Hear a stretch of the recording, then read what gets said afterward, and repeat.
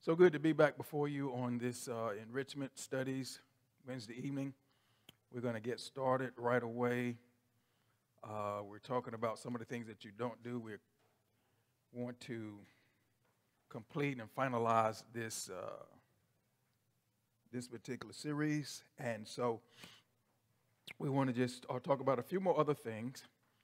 And we're talking about our children as far as discipline and the things that we need to do. We're kind of past the part of corporate punishment now. And so we're just laying uh, a few more things down so that you can uh, put them in your memory and, and try some of these things.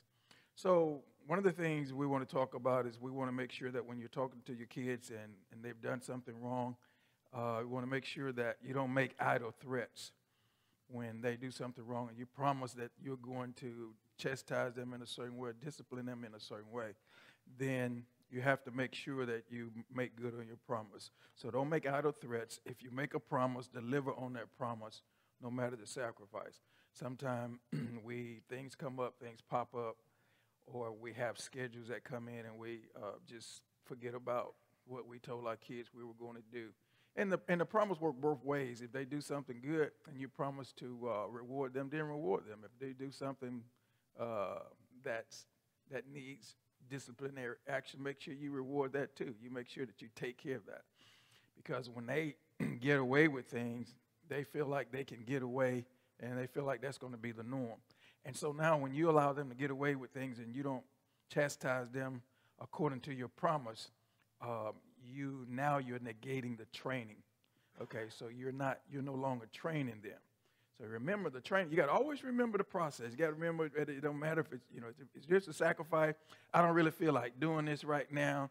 You know this is gonna mess up my emotions. This is gonna destroy my day. All of that. Well, you know you, you got to think in terms of that. Uh, when we have kids, we got to understand that there are so many things that we have to do that's going to be uncomfortable. We're not ready to do. We don't feel like doing. It's a sacrifice to do. Um, you know, we want to let it slide. See, it's easy not to have conflict. It's easy not to correct. It's easy to not train. But you always have to remember if we don't do those things now while they're young, uh, it's going to be trouble down the road. You're going to have problems. you know everybody that your child come in contact with. That's going to be some kind of problem, some kind of issues. We like to tell parents, look, try to uh, learn how to discipline your kids and train them at home when they're coming up. Because one day they're going to have to go to school. And when they go to school, they're going to have to be able to sit still. They're going to have to be able to listen. They can't just talk and play and run around and do what they want to do. Uh, otherwise, you're going to have a stack of referral, referrals like that at the office. And, and every, every day they're going to be calling you to come get your child from school. And so that has to start at home. So we immediately know that when uh, kids have not been disciplined at home because of the way they act at school. And we had the privilege one year or a few years of, of doing testing for a certain school uh, for the kids to get in. And it was so amazing uh, the lack thereof when it came to when it when it comes to parents training their kids. Some of the kids didn't even know their real name. We asked them what their name was, and they told us their nickname. We know that that can't be the child name. So I had to leave the testing site, go to where the parent was and ask them, uh, Excuse me, what is your child's real name?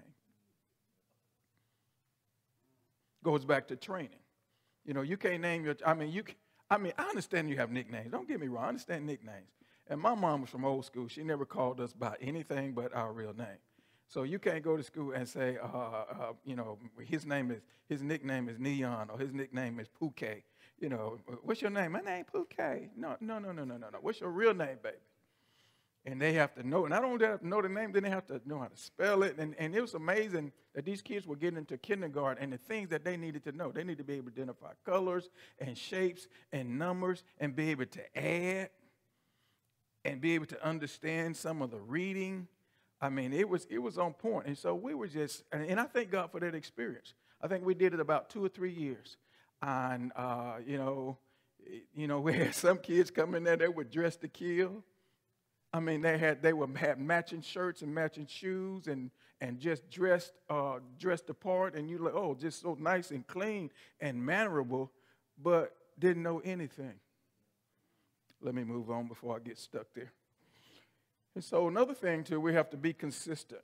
Okay, a rule is a rule.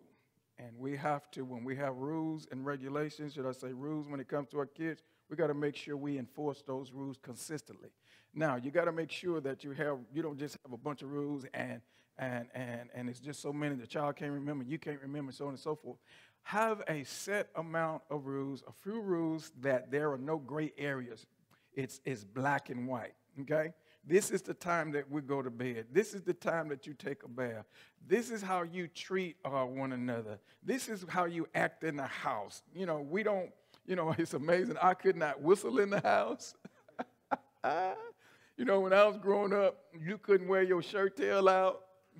You know, until this day, I have problems. Sometimes my, my son be like, Dad, you at home. You know, there's so, certain things that were absolute. So you have to have some absolutes because training means this is what we do all the time, every time, over and over and over again. Okay, and then when we come to when it talks about spanking, when do you spank? Uh, or should I say, whenever you do spank, make it count. Whenever you have to give corporate punishment, make sure you make it count. All right, make it count. You know, um, look for true repentance then forgive and drop the offense. Look for true repentance. In other words, uh, the reason why you are spanking is because you're trying to correct.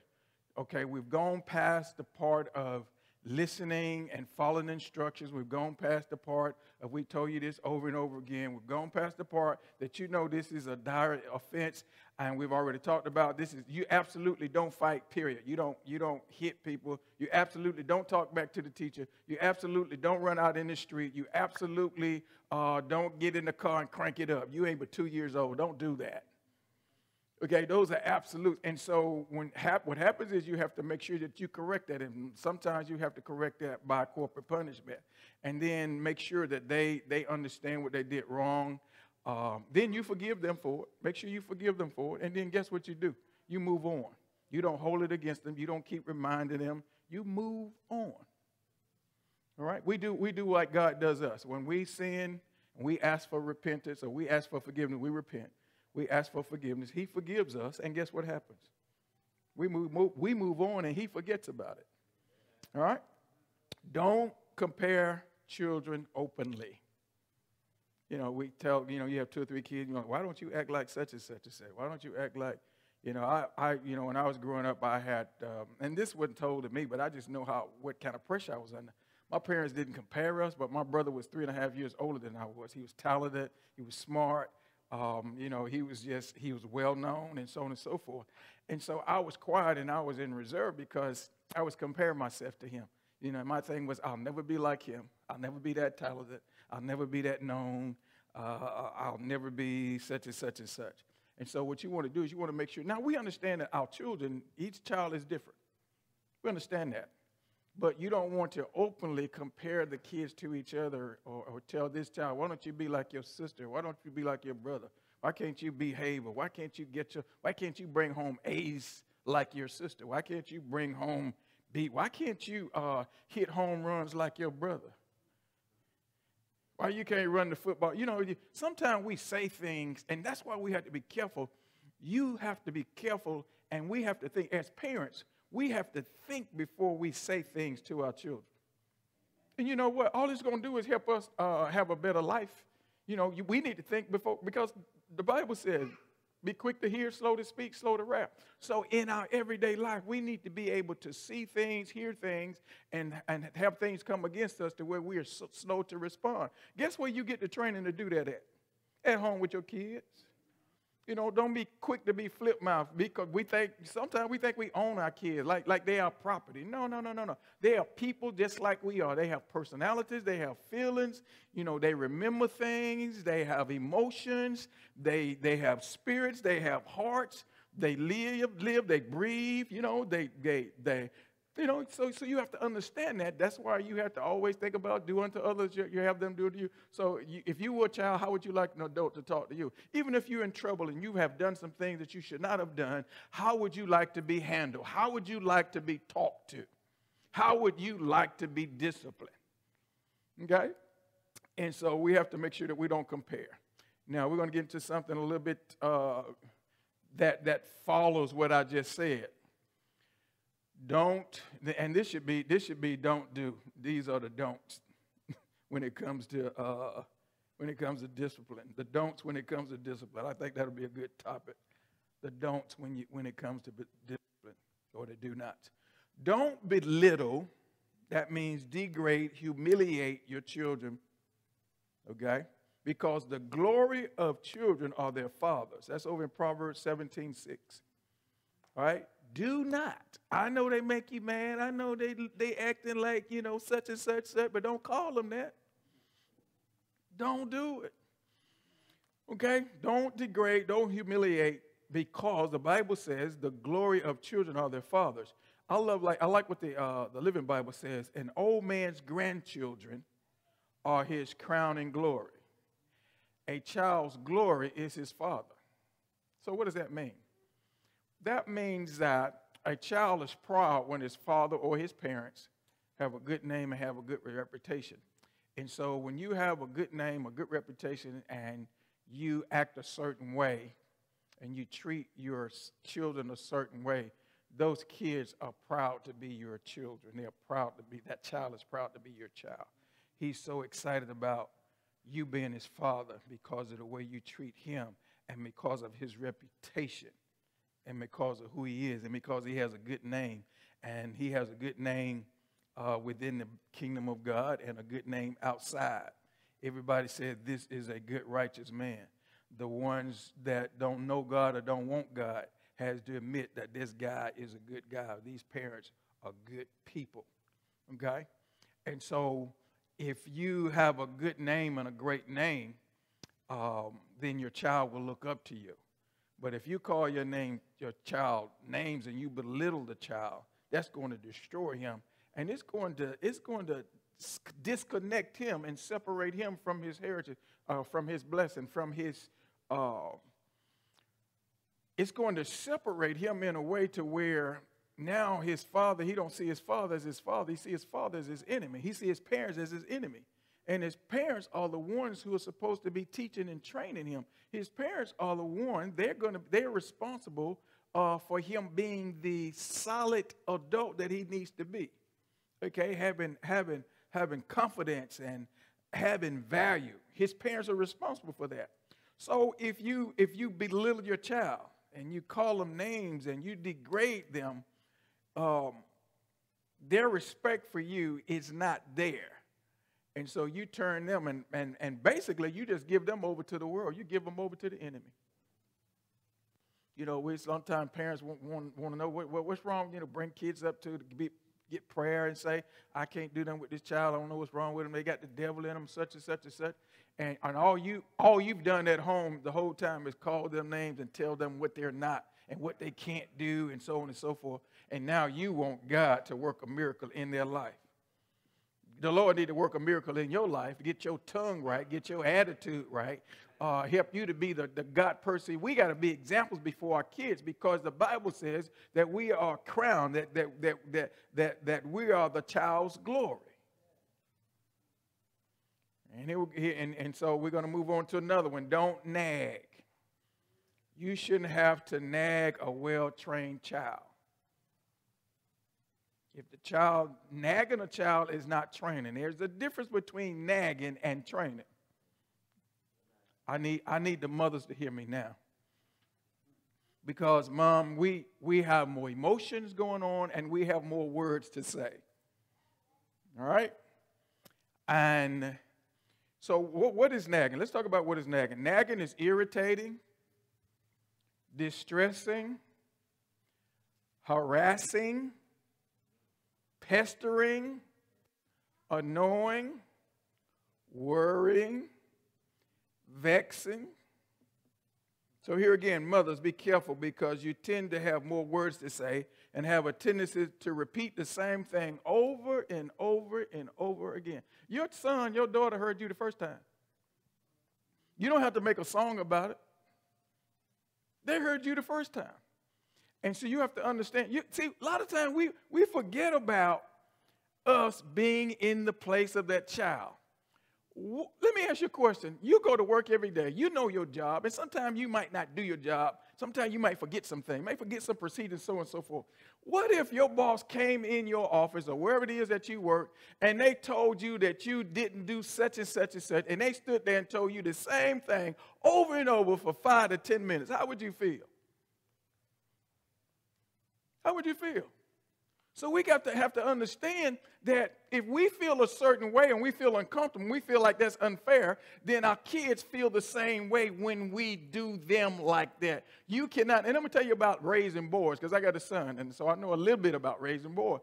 Boys, they they have to go on command. You have to use fewer words. You use fewer words with them, be direct, and tell them what you need to do. Maybe twice. That's all you have to do. Because if they don't get it, because they're built a certain way, and if they don't get it the second time, then you telling them over and over again and nagging them and getting on their nerve is not going to solve the problem. They're not going to change it. You know what they do? They get used to that and they turn a deaf ear. And that's why you got to holler at them for about six to seven minutes before you can get them to do anything. You don't talk to them and tell them the same thing over and over again, and they're not going to hear you until you finally you pick up a shoe and get ready to hit them in the head, and now they hear you.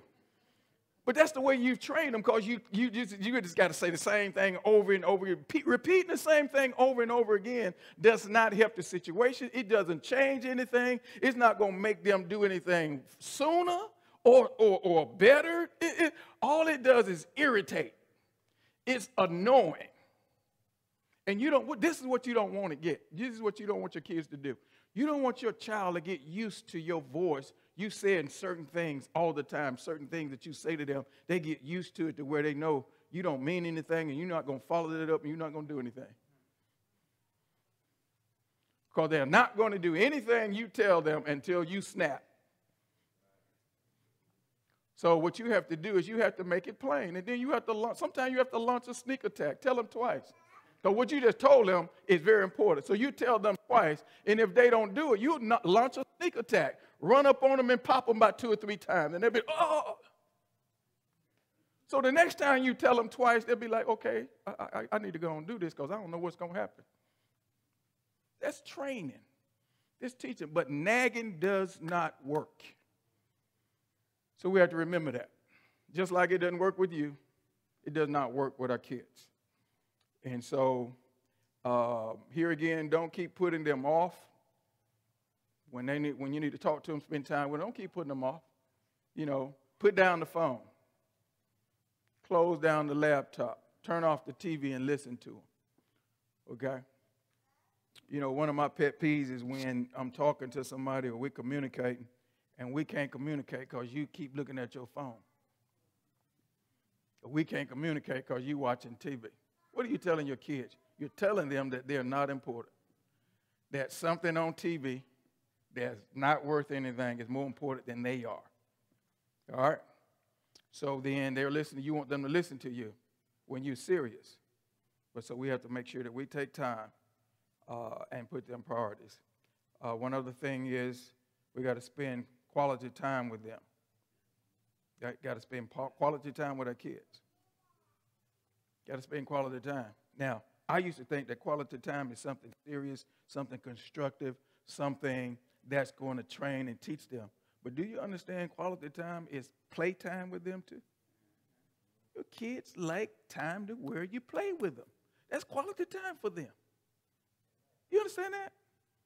Everything can't be serious in life.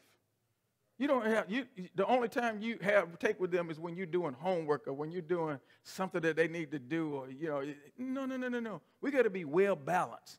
But now here's another thing too, but don't don't let it put your spouse into a secondary place of priority. So the kids, even though you spend time with them, you can't spend all of your time. You can't put the kids before the mom. You can't put kids before dad. Mothers, you can't put kids before dad. Dad, you can't put the kids. You can't be out there all your all your leisure time. You out there throwing the ball or doing whatever with your son or your daughter and your wife inside getting the, getting the food ready or cleaning the house or whatever, such and such and such. No. And so we have to understand that. And these things, a lot of these things we already know, and some of them we do, but we need to be reminded. Because when you get in a routine every day, every, you know, routine is what you do the same thing pretty much every day and the same time of day. You get in a routine and you, and you and, and before you know it, things that you should be doing and things that are important, they kind of squeezed out. You just kind of leave them out. Just kind of overrun them, pass by. So don't get in too much routine to where you we don't we don't consciously understand and make a comfort a conscious effort or be intentional in doing some of these things. Always put yourself uh, in your child's place. Uh, in your child's place. So, in summing all of this up and all of this teaching we've been going over for weeks, uh, and this uh, we've been going on, on and on and on in this series. We have to understand that we've got to train our children. We've got to love them. No, we don't want to, but we have to discipline them as, as is needed. And remember this you will have lifelong delight watching your children live out their lives as productive, godly adults because you spent the time when they were young training, teaching, coaching, inspiring, encouraging. And yes, there's going to be some ups and downs, there's going to be some conflict, but it's all worth it because that's what happens when you're developing and training and teaching. And always remember, your child is a representative of you. When people see your children, whether they're acting up or have good conduct or pleasant or integrity or character, they are a reflection of you. They are the chip off the block, off the old block. I hope this series has been a blessing to you. We're going to look to God to, to uh, inspire us as to what to begin to teach next. Um, go back and listen to some of these, uh, these tapes, these videos, and um, I'm sure that God will continue to inspire you, and He will continue to give you, He'll add to what we've already taught so that you can have a successful and exciting life. God bless you. We'll see you next time.